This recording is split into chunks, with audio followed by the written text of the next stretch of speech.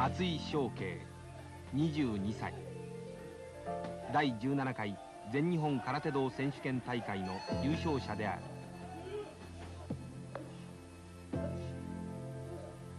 極真の門を叩いて10年。今やその頂点に立つ彼だがここに至るまでの道のりは決して楽なそれではなかった。トレーニングに次ぐトレーニング稽古に次ぐ稽古。激しく厳しい事故との戦い。怪我にも泣いた。持病の腰痛にも苦しんだ。だが彼は不屈の精神力でその障害を超えてきた。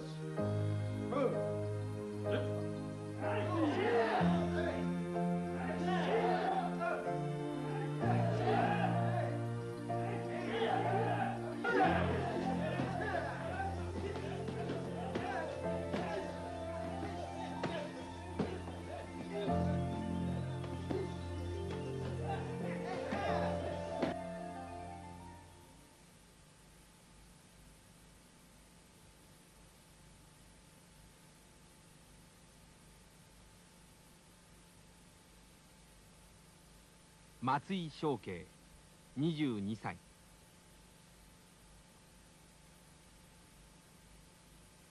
たとえ極真空手の頂点に立ったとはいえ彼に休息はない。いや頂点に立った今こそ次なる戦いへの挑戦を志したのだ。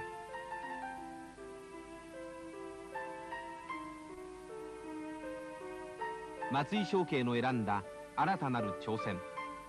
それは極真空手のみが成し得る荒行。百人組手への挑戦である。精神と肉体の極限への挑戦である。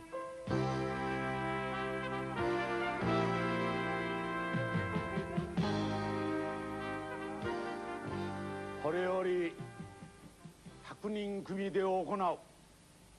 諸君もご承知のように。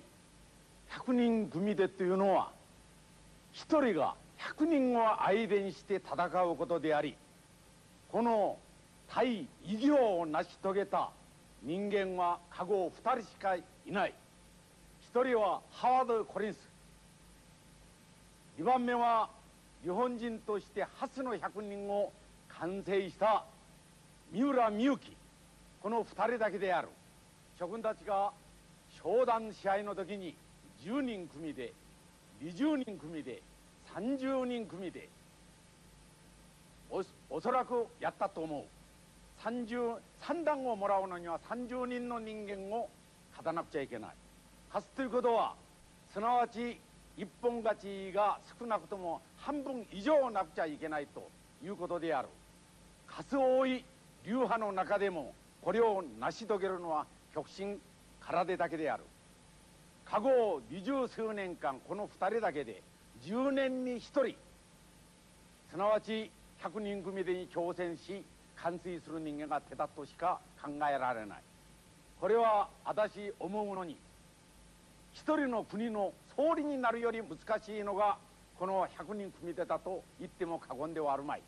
今日この日にあたって松井翔慶君が100人に挑戦するということは過去何人かが挑戦したがそれは成し得なかった世界チャンピオン2連覇をした中村誠日本選手権大会を3連覇した三平平治それから極真の牛若丸と使用された三好この3人がことごとく100人に挑戦して100人完成できなかった極真からではご承知のように激しいことだけではなくいつも申し上げるように頭は低く目は高く口を慎んで心広く法を中心として他を益する。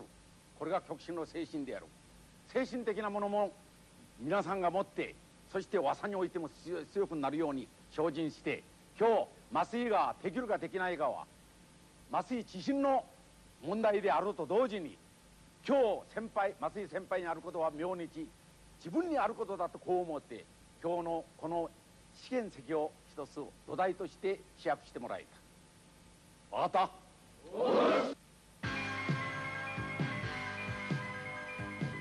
この試合では通常の大会ルールとは一つだけ異なるルールが導入された。それは試合中の無用なつかみや小手押しを避けるため。両手に5センチほどの握り棒を握りこれを落とせば技ありとなるルールである。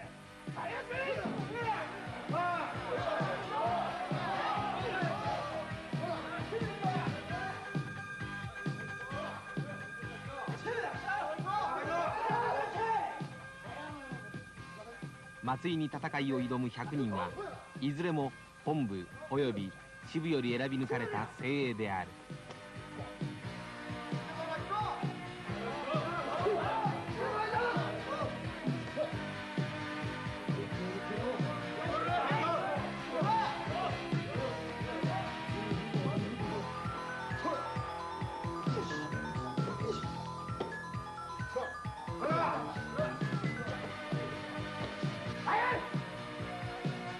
は合田雄三師範牢山師範が進行を務める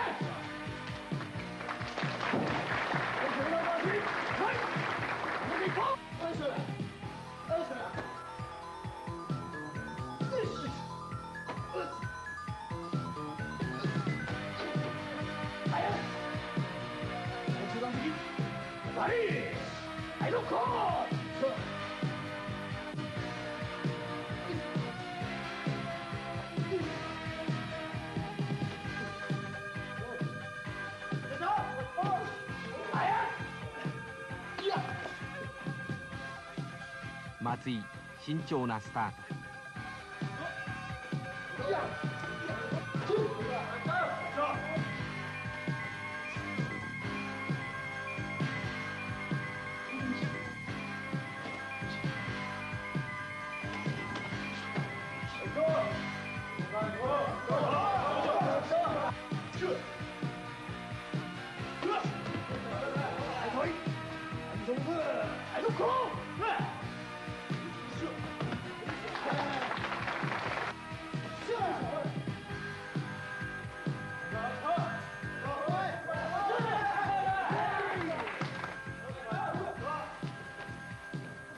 松井にとって最大の敵は体力の消耗である。いかにスタミナを温存しながら必死に戦いを挑んでくる100人と戦い切るか。そのためには前半戦でいかに早い時間に一本勝ちを収め試合の所要時間を短縮させることができるか。それが大きな鍵となる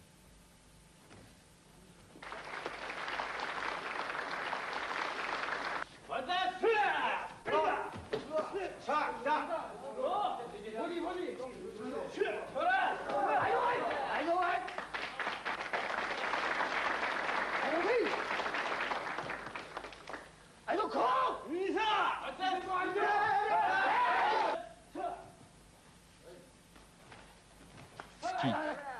突き蹴り松井独特の多彩な技が繰り出される。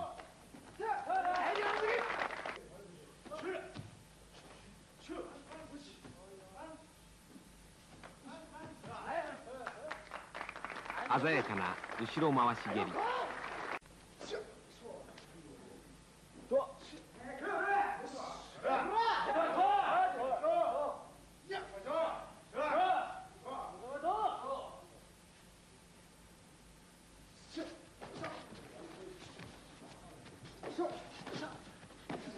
退場かい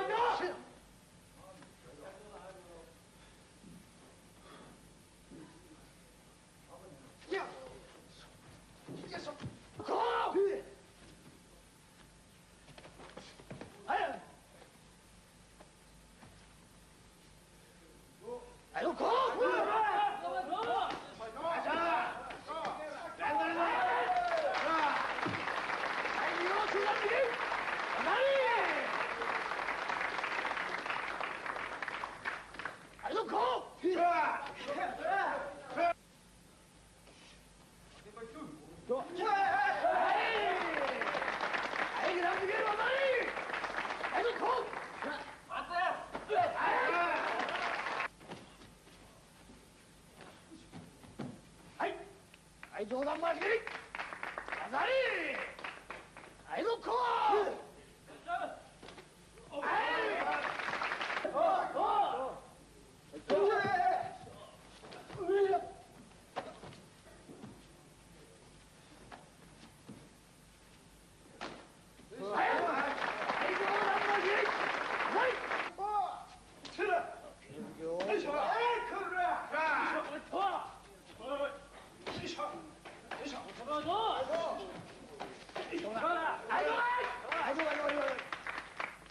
ど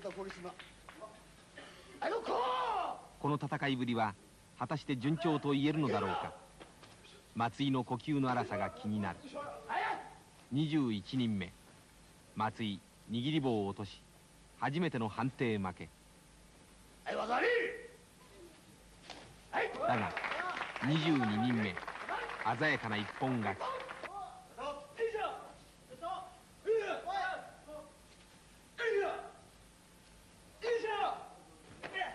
はいはいけど間違い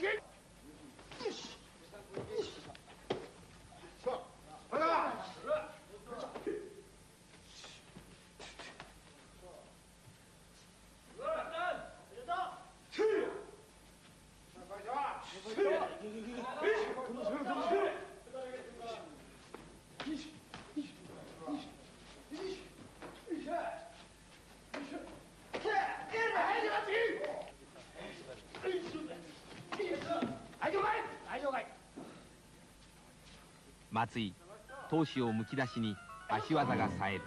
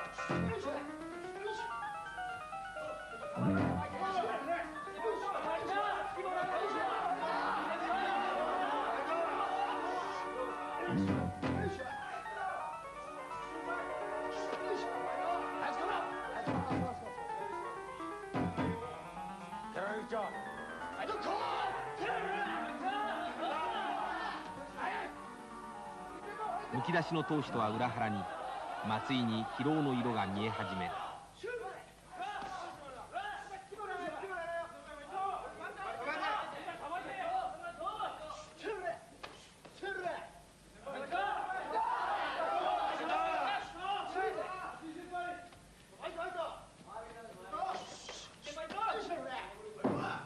34人目。2度目の判定負け。果たして松井の100人組手は達成されるのか。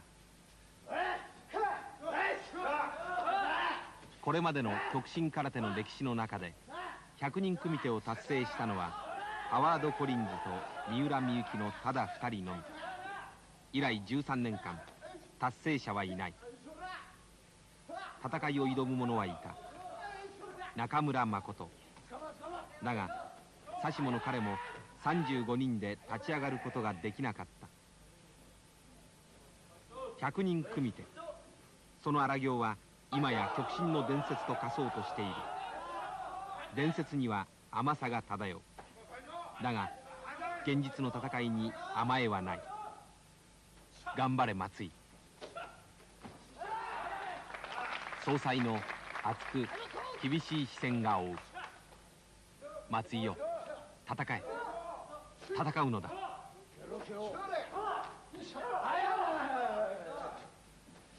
いどこ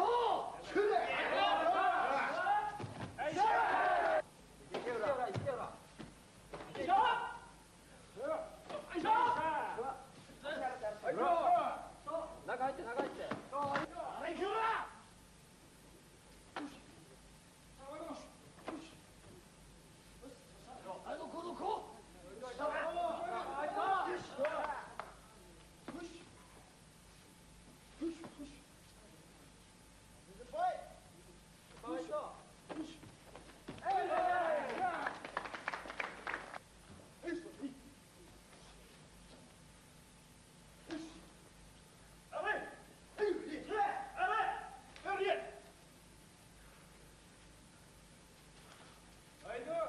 ゆらいけよいけえいいあれえそれえそれえそえそはいはいはいどこはい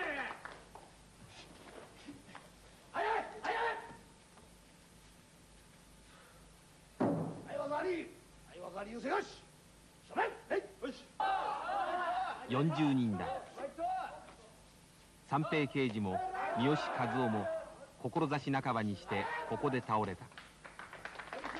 松井翔慶彼を支える者は不屈の闘争心だと言われている。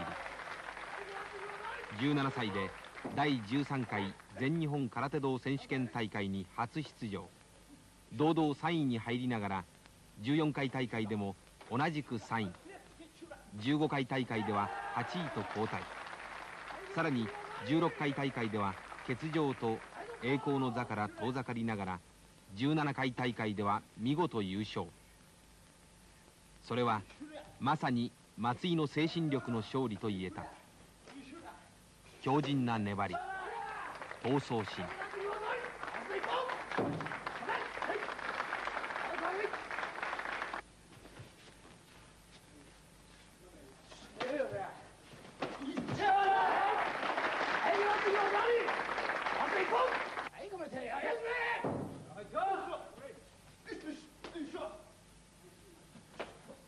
46人目後ろ蹴りを急所に受ける。反則技だが故意ではない。この打撃がスタミナの消耗にどう響くか。だが挑戦者は非常である。いかなる場でもいかなる相手でも勝つこと。それが極真空手の真髄なのだ。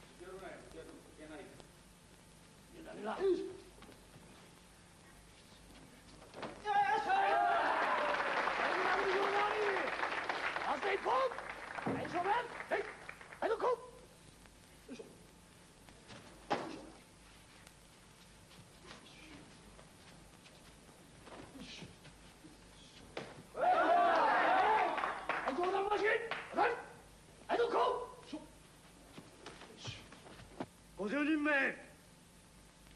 戦いはやっと半ば。すでに1時間を超えている。果たして体力の消耗は？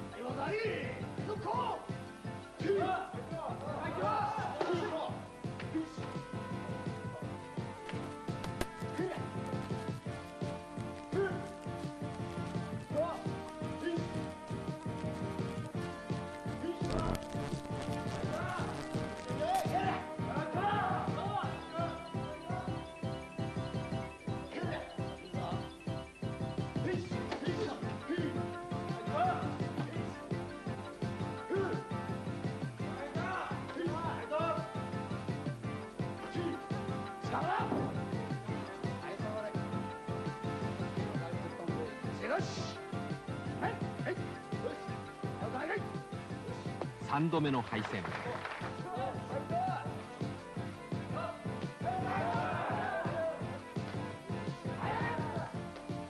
強度の疲労が松井を襲っている。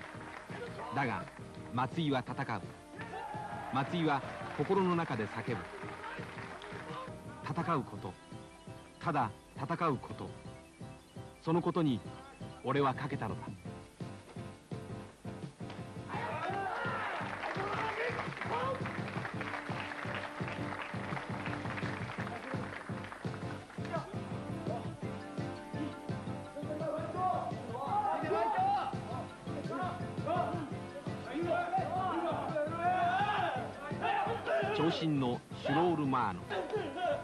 必要な攻めにスタミナの消耗は大きい。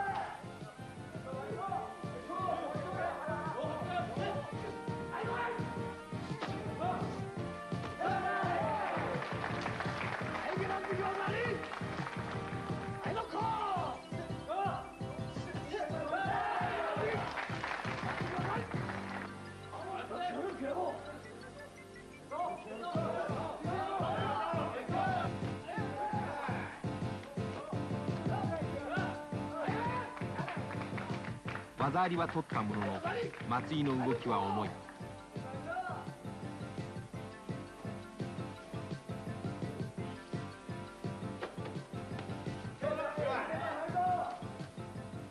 戦いはいまだ半ばを過ぎたのみ。百人組手はまたしても伝説に終わるのか。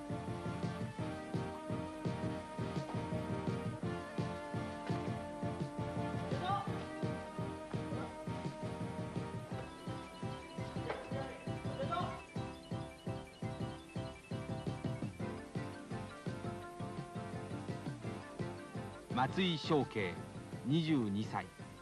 松井君なぜ空手を始めたの？うんまあそうですね。強くなりたかったからですね。何歳から？13歳からです。途中やめたいと思わなかっえー、っと何回かありましたけども。た、えー、松井君の空手はどんな空手？どんな空手ですかね。まだまだですね。これからの空手じゃないですか。勝敗にこだわる？ああ勝敗にはこだわります今空手以外にやりたいことは？まあ全て人がやってることは何でもやりたいなとは思いますけど。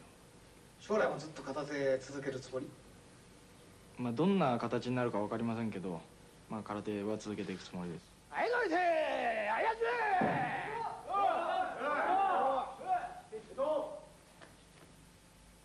汗で重くなった道着は動きが鈍くなる道義を変えるわずかな時間が松井をよみがえらせた。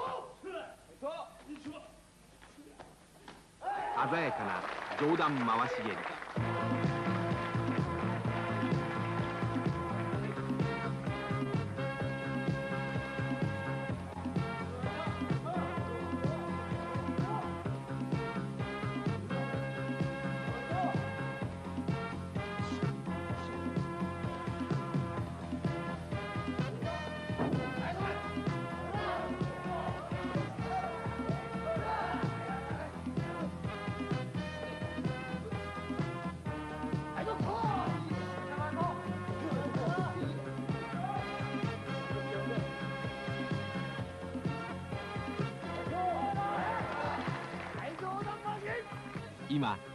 水を駆り立てるものは何か？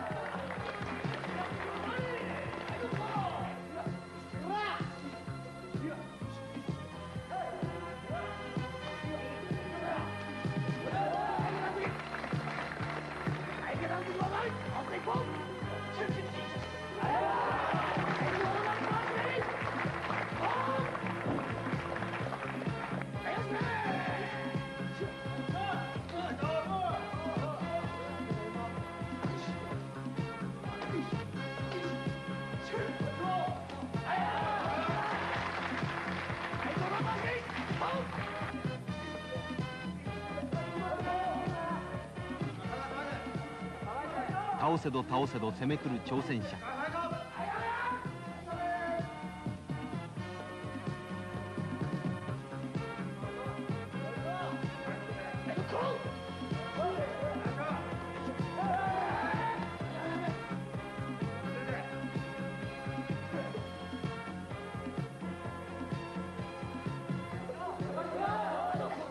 再び膝に打撃を受ける。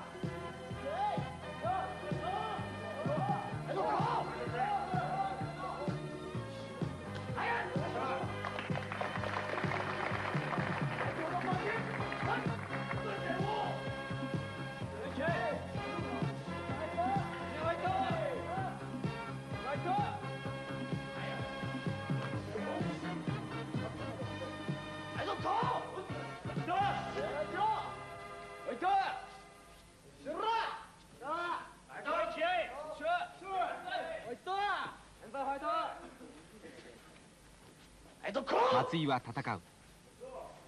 今の松井にはただ戦うことのみが課せられている。ただ戦うことのみが。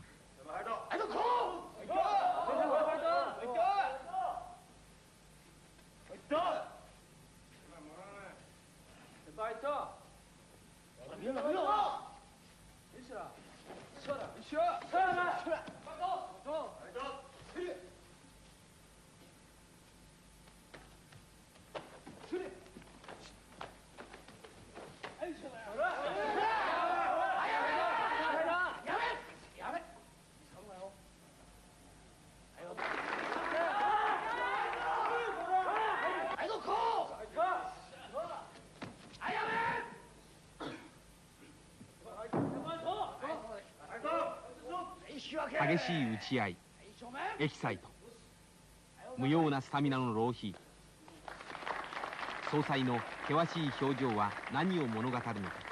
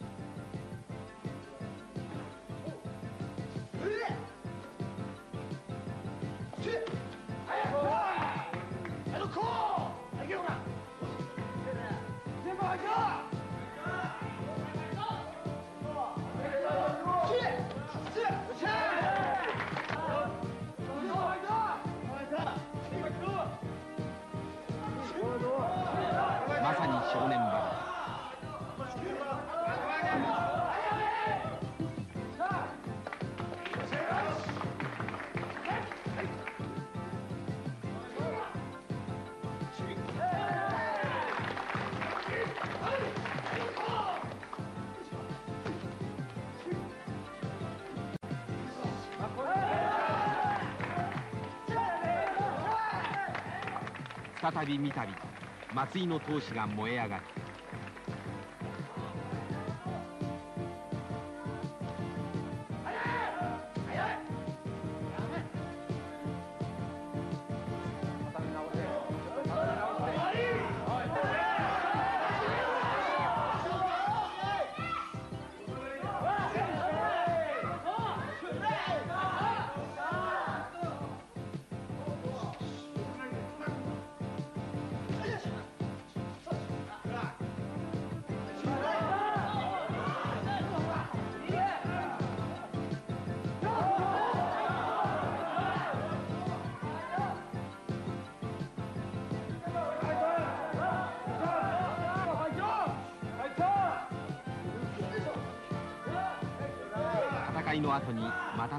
が戦いは果てしなく続く。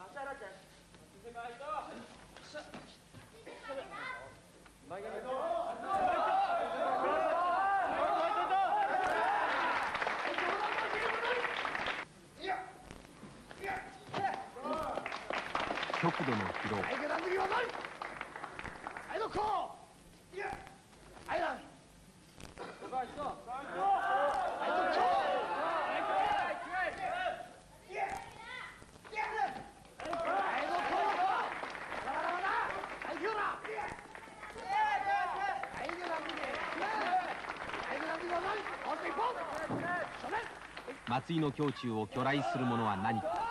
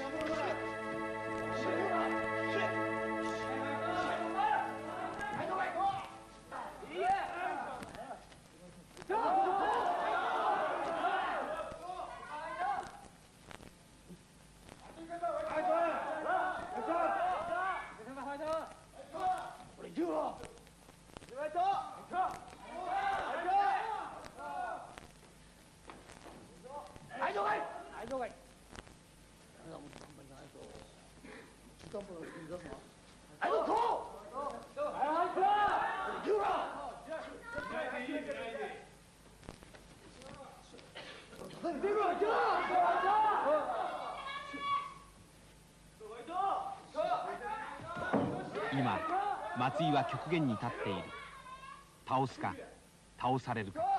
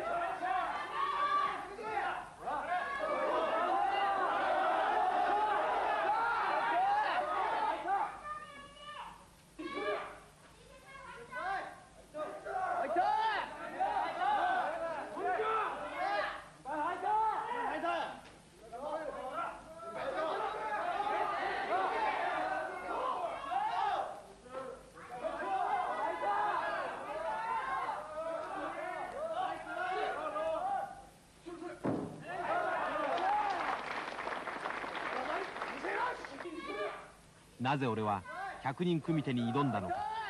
なぜ地獄の荒行と言われた百人組手に挑んだのか。ロマンだ。百人組手の伝説を俺の手でよみがえらせる。宿命だ。この荒行に挑むことが戦う男の宿命なのだ。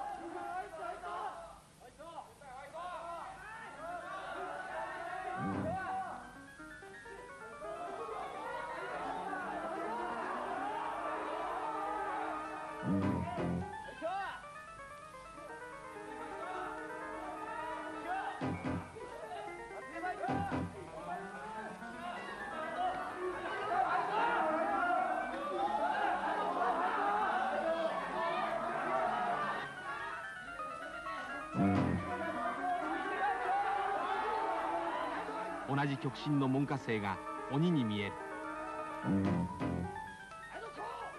合田審判が非常の鬼に見える。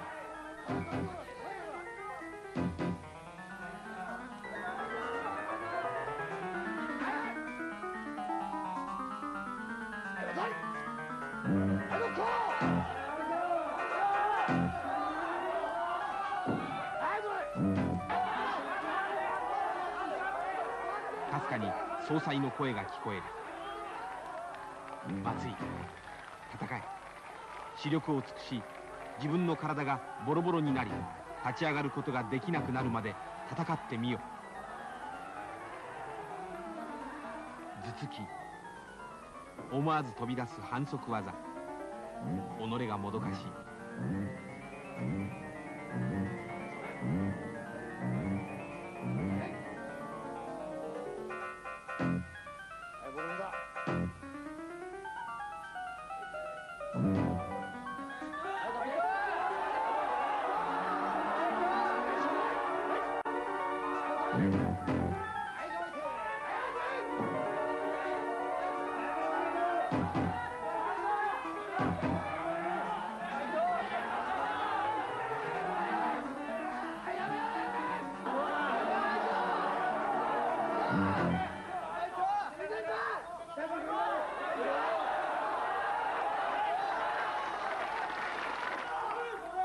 松井は吠えるそれは己への方向だ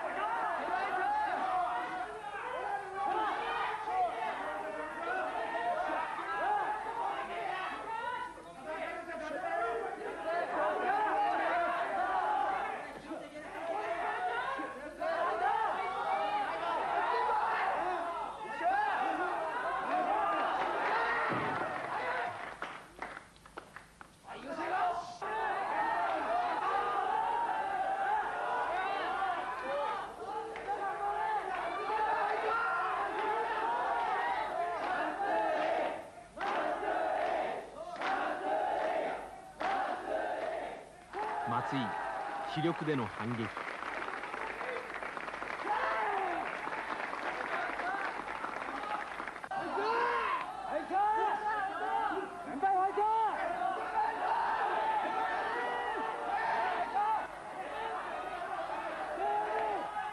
すでに時間は2時間を超えた。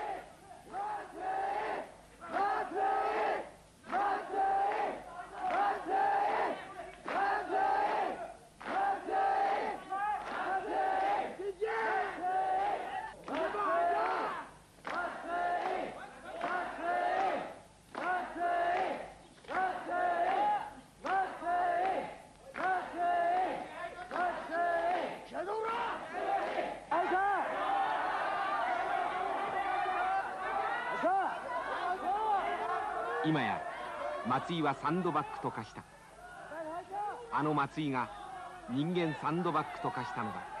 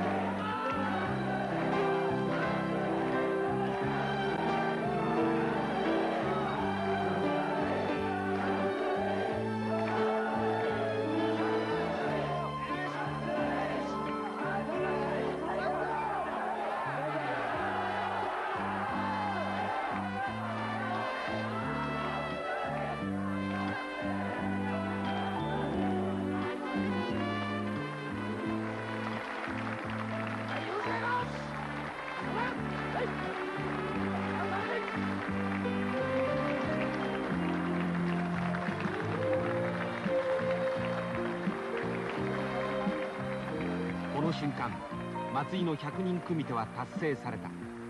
2時間24分極限への挑戦。そして今よみがえる100人組手の伝説。